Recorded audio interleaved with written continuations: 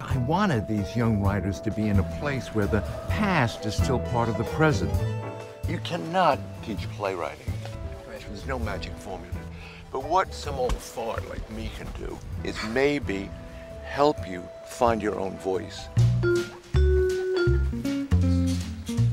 I was just so excited when I found out that I was going to meet John Guare. He's one of the greatest living American playwrights. Being a writer is what wakes you up screaming at four in the morning is the subject of your next play. He talked about how theater used to be tabooed. Like this was the time when theater meant something. This is when theater was actually doing something. Over 1700 years go by before there is another play. I wanted them to look at Rome not out of their voice, what they were seeing, but to invent a person who was seeing something that they were seeing.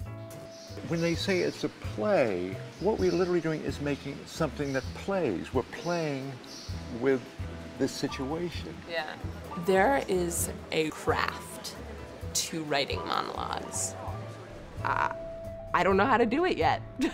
he didn't want us to write safely, you know? He wanted us to take risks. I'm curious to know where you find yourself in this man. He, uh, he's not a bullshitter, if I can say that. He was very honest. Learning how to get into that place of chaos and how to get out of it. And that's what, for me, what writing is, is how, how you're painting yourself into a corner and then the story is how we get out of that corner. There's a wealth of books about writing and writers reminiscing, but it's not the same as meeting a real life human being, a master. Good to see you.